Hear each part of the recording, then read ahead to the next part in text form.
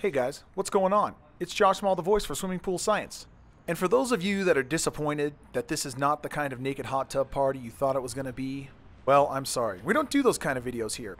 This is a spa that is naked and we are having a party here, getting it ready to fill it in with shotcrete. Take it to uh, the next step of completion. But I figured this would be a good time to kind of show you what's going on inside of a spa because this is like getting a live action x-ray. So uh, let's take a look at some of the details and some of the important things that go into uh, building a spa and, uh, and how that can be extrapolated out to how you would build an entire swimming pool. The reinforcement bar frame of the pool, spa, or water feature acts as a skeleton for the shell structure itself. Air, water lines, and electrical conduits are heated and bent to follow the contours of the shape whenever possible to minimize restrictions.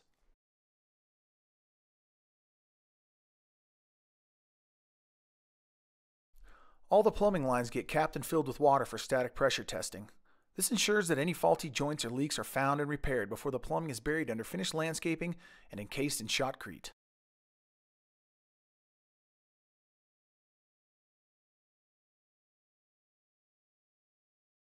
Residential water structures commonly use grade 40 deformed reinforcement bar to magnify the strength of the shotcrete shell.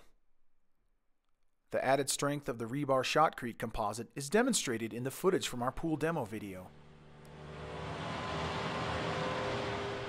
While this fragment of deck slab was formed from a lower strength concrete, it shatters like glass from a 6 foot drop due to its lack of reinforcement. On the other hand, this 750 pound hydraulic breaker will take hours to chip down the walls of this old pool, even in the hands of a skilled operator, due to its higher strength and reinforcement. Strength is critical in a pool, spa, or water feature shell. A 20,000 gallon or 75,000 liter pool has to contain over 165,000 pounds or 75,000 kilograms of water. Go ahead and hit the like and subscribe buttons if you're a big fan of destruction like me.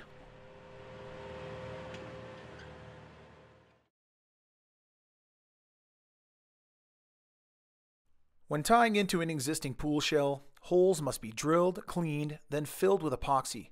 Then the rebar for the addition is placed into them in order to lock the two structures together. The area where old shell and new shotcrete make contact must be rinsed and should be scored to allow for a sturdy mechanical grip at the cold joint where old meets new. It's critical to make sure that stub outs for return and therapy jets are placed several inches away from the rebar.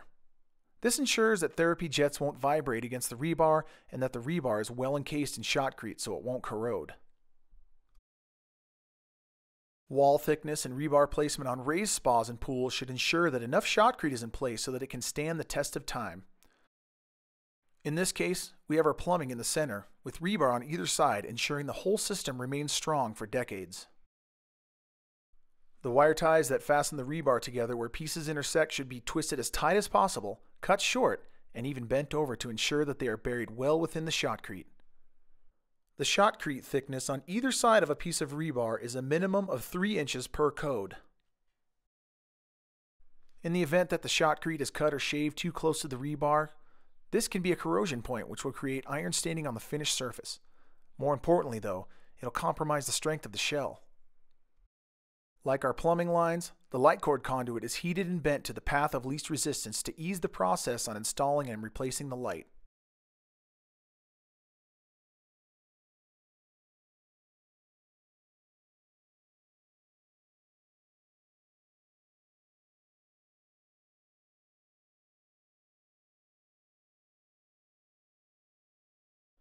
Bonding all metal components within 5 feet of the pool or spa is absolutely critical and required by code and law.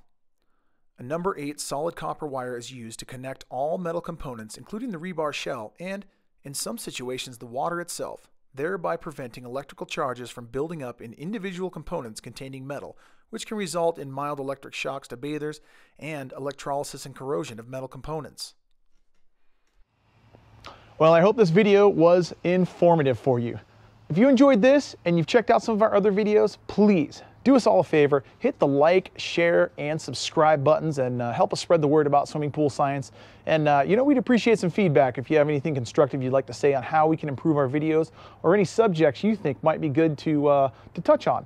So uh, thanks for watching, guys, and we'll see you next time.